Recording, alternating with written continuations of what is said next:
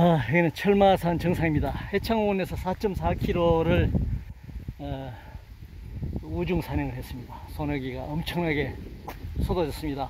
천둥 번개가 치더니 이제 어, 먹구름이 서쪽으로 어, 흘러가면서 약간 푸른 하늘이 지금 보이고 있습니다.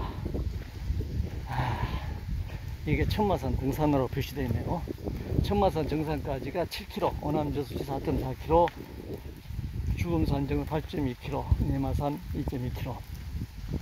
여기가 아, 갈림길입니다. 아,